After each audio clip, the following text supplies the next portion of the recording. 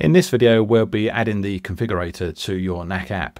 If you haven't seen the interview with Normand, then I'd recommend clicking on the link and watching that through first. If you have, then you'll be aware that KTL is an open source code library. And I'd like to make it very clear to start with that although Knack are very supportive of KTL and they are aware of it, they don't support it. So please don't raise any tickets if you have any questions or queries directly with Knack support. You can post them onto GitHub. There is a forum, which I will show you in a second. Or if you want to, uh, I think we're quite comfortable with things going on to the forum and one of the team, including myself, which I'm not really part of the team, but extended team will be able to dive in and help. So with regards to that, I would certainly recommend heading over to GitHub and I'll put some links in the description. So this link here is taking you to the changelog.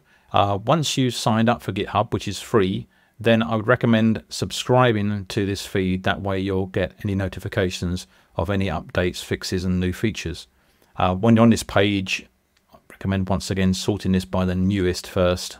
I had it sorted by the oldest for a long time before I realized there was a button here and had to keep scrolling to the bottom.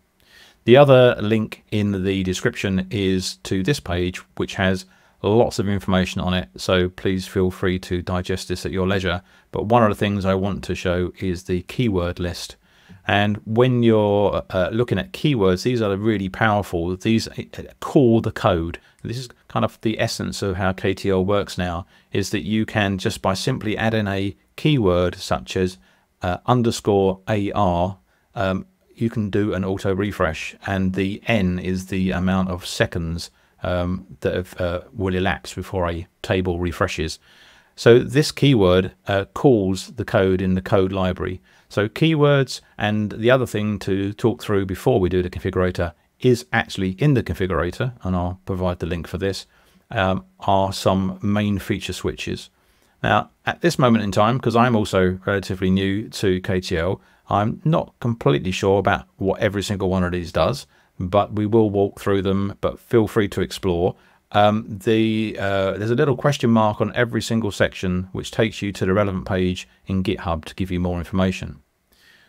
So anyway, to set up KTL, it's super simple. All you need to do is, first of all, just put the application name in here because you can save this configuration. It will, it will save locally, so each time you make a change, you'll get a little pop-up here to say it's been successfully changed. Um, and you can save it manually here as well, and you'll get the confirmation. And it's saving it just to your local PC. Um, so if you do clear your browser cache, um, I would recommend uh, exporting the file out so you can import it in a later date.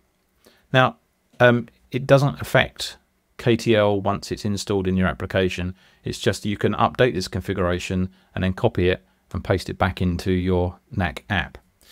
Anyway, so what I would once again recommend is put the uh, app name in here you have to leave this ticked um, for the first time because this is the actually the loader. That's the first few lines of code which load KTL. Um, put your name in. You can put an email address if you wish. Leave these two ticks, which is these these two ticked, which is the version info bar. And then on the main feature switches, you need to show the title to be able to see the info bar and leave everything else unchecked. If you scroll through, there's lots of fields for customization. And there's a few more fields as you scroll down. Just once again, uncheck everything as you go. And then when you get to the bottom, there is a blue button which says generate configuration. And then you can copy that to your clipboard, head over into your Knack app, into your JavaScript. And this is very important. You have to put it above any other code that you've got. It needs to go on the first line. Currently, the whole KTL configuration is 175 lines. So when I paste that in, I'm right down the bottom. And Normand's very kindly put a little note here that your app specific code goes here. So it goes beneath the bracket. It's really important. If you don't put that there, um, KTL won't function properly. So the, it needs to load first of all. And that's it. You save your code. And um, before we launch the app, go into records and make sure if you haven't got a developer ro role, um, create a developer role and add the developer role to whoever you wish to be able to be administering KTL inside your app. So for myself, I've got a developer role and then over into your live app, do a refresh And once you've refreshed, you'll get the KTL info version in the top right hand corner.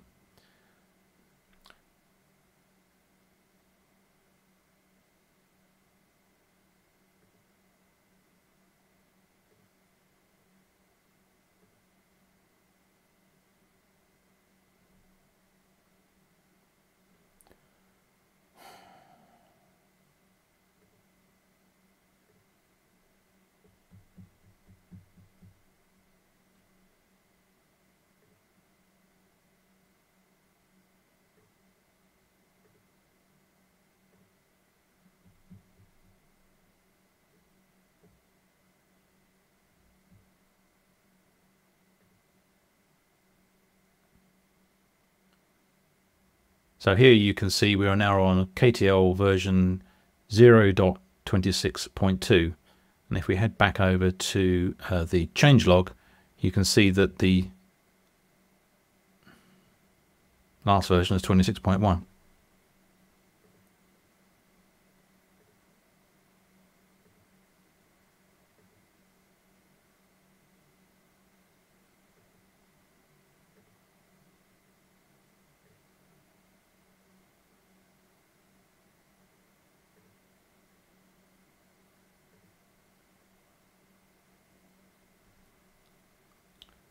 So as you can see in the top right hand corner we now have a little card that says KTL version 26.2 and that has just changed. Been speaking with Norm and the last update was three days ago. We were on 26.1 but we've made some changes and that hasn't been updated on the um, discussion board yet.